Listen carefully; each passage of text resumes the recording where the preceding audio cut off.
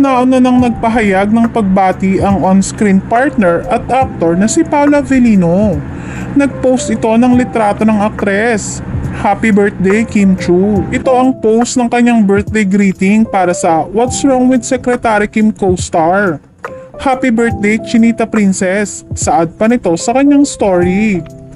Kasalukuyang nasa Siargao si Kim kasama ang malalapit na kaibigan upang magdiwang ng kaarawan nito. Kabilang ang best friend nito na sina Bella Padilla at Angelica Panganiban.